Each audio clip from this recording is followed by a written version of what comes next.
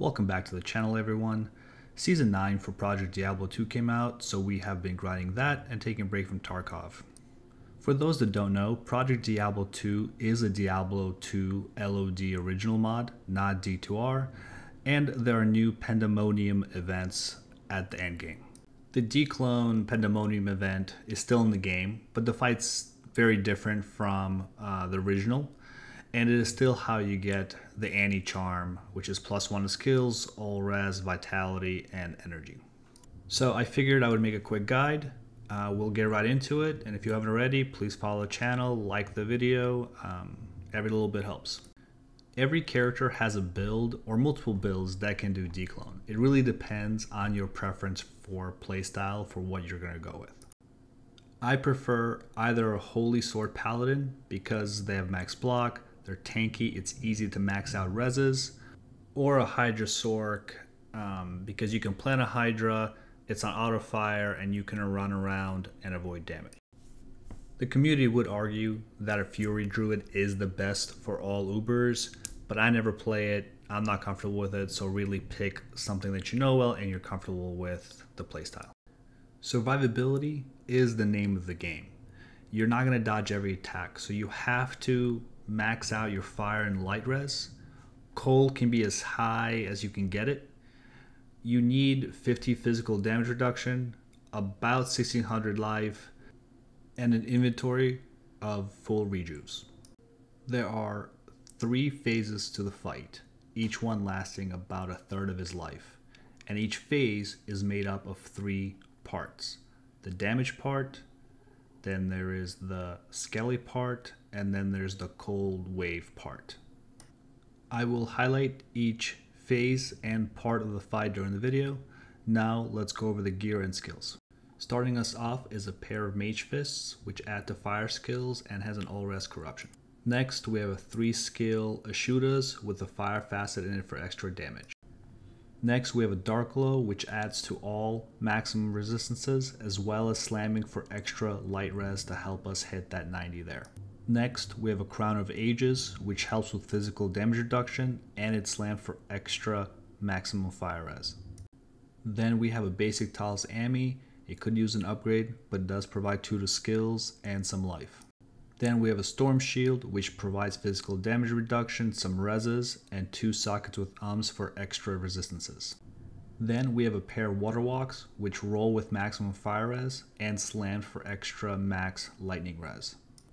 Then we have a Ravenfrost, which provides cannot be frozen as well as some cold absorb uh, for the cold waves. Next, we have a Verdungos, which also provides physical damage reduction, gets us to 50, and provides a ton of vitality for life. Next, we have a Nature's Peace, which provides more maximum all resistances. Then we have a bunch of small charms with life. They range anywhere from 17 to 20. We have a collection of fire skillers. Some of them are plain and some of them have life on them. And finally, we have a torch, which provides two to skills as well as some reses. As you can see, this is a pretty bad torch.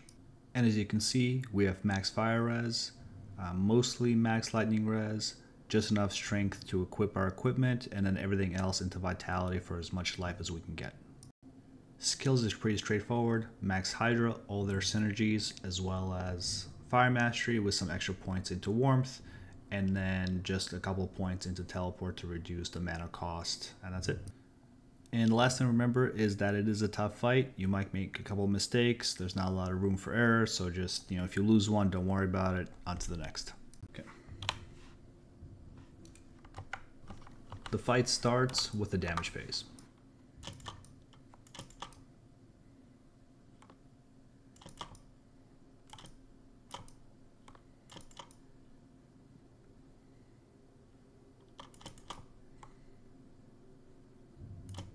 This is part two of the phase one where he raises skeletons.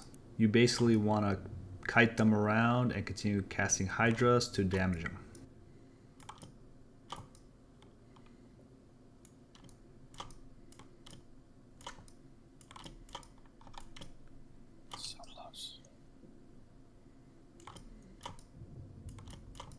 After you kill the final skelly, you can damage him again, so there's a small damage phase uh, to get you to the third part. For part 3, he sprints to the middle to start his cold waves, so you want to be able to get to the bottom left corner of the map and stand behind the pillar to not get hit by them. They hurt a lot. Make sure you wait for the last cold wave to pass before going into phase 2 and the damage part. Basically, this cycle repeats two more times, and I'll let you watch it from here.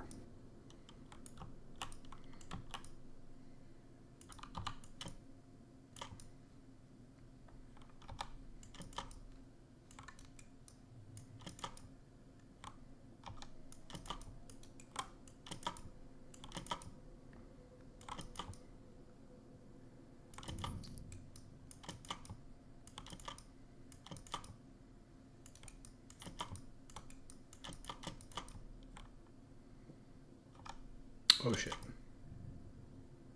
I mean, fucked ah. up. I forgot, I forgot to grab the Ravenfrost. I'm like, why am I cold?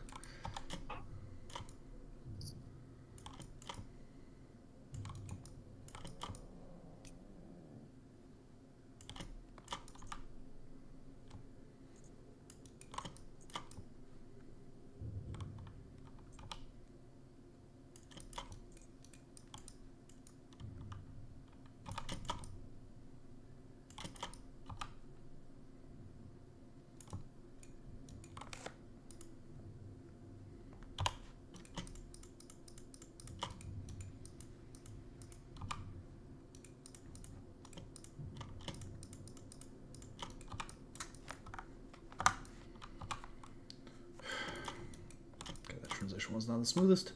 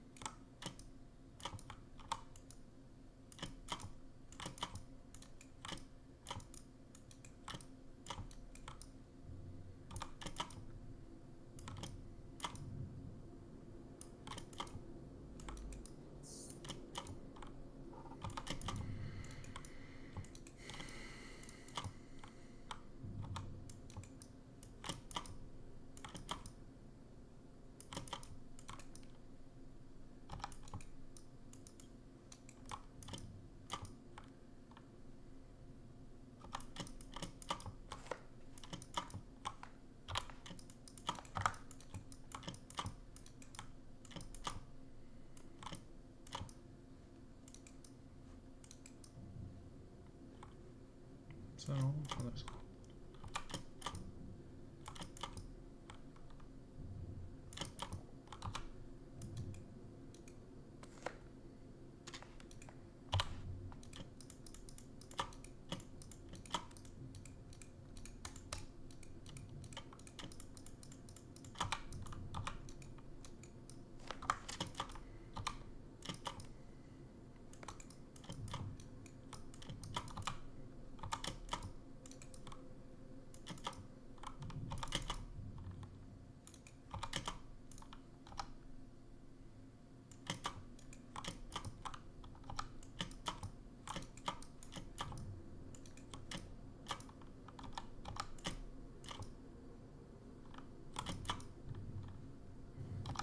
that is all she wrote. Uh, you'll hear a big sigh of relief because it is a stressful few minutes.